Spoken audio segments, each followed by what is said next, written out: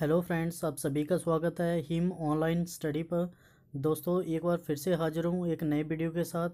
आज का वीडियो बहुत ही इंपॉर्टेंट होने वाला है तो वीडियो को आपने अंत तक ज़रूर देखना है। चैनल पर नए हैं तो प्लीज़ चैनल को ज़रूर सब्सक्राइब कर लें।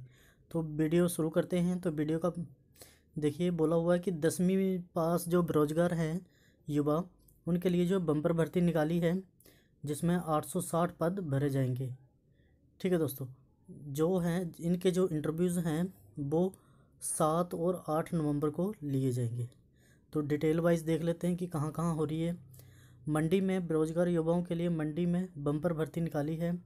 दिल्ली की एक private company messrs G four S secure solution India private limited में सिक्योरिटी गार्ड के आठ सौ पद भरेगी। इसी तरह से Indian institute of skill development Suzuki motor परमाणु मैकेनिकल ट्रेनिज के जो हैं eighty six sorry eighty six नहीं, सिक्सटी पद भरेगी।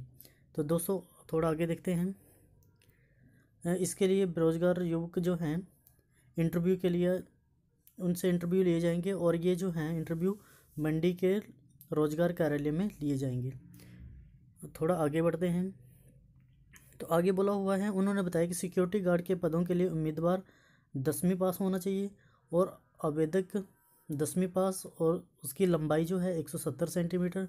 मेड, शारीरिक व मेडिकल तौर पर फिट होना चाहिए और अभ्यर्थी की जो उम्र है वो है उन्नीस से पैंतीस वर्ष होना चाहिए। और जो युवक होगा, जो इंटरव्यू देने आएँगे, वो आवेदक का जो है नाम जो है रोज़गार कार्यालय में पंजीकृत होना ज़रूरी है। और इसके लिए कंपनी जो है ग्यारह हज़ार बत्तीस रुपये मासिक वेतन भी देगी। तो इसके लिए जो डॉक्यूमेंट्स लेके आने हैं आपने, वो लेके आने हैं शैक्षणिक प्रमाण पत्र हिमाचली प्रमाण पत्र की प्रति, दो पासपोर्ट साइज़ फ़ोटोग्राफ, रोज़गार पहचान पत्र सहित पाँच नवंबर को है उप रोज़गार उप रोज़गार कार्यालय जोगिंदर नगर तथा छः नवंबर को क्षेत्रीय रोज़गार कार्यालय मंडी में सुबह साढ़े दस बजे इसके जो है इंटरव्यू लिए जाएँगे। तो आगे देख लेते हैं, इसी तरह से मैकेनिकल ट्रेनिंग के साठ पदों को भरने के लिए कंपनी सात नवंबर को इंटरव्यू लगी। इन पदों के लिए शैक्षणिक योग्य, योग्यता जो है फिफ्टी फाइव परसेंट मार्क्स होने चाहिए दसवीं की मार्कशीट में। आयु सीमा जो है अठारह से बीस है और आवेदक का जो नाम जो है रोज़गार कार्यालय में दर्ज होना चाहिए। इसके लिए जो है आवेदक को जो है दस हज़ार रुपया जो है मासिक वेतन दिया जाएगा। मुफ़्त वर्दी, आवास और भोजन की सुविधा उपलब्ध कराई जाएगी। तो दोस्तों, ये थी जानकारी जिसमें जो है आपके जो है आठ सौ साठ पद भरे जाएँगे।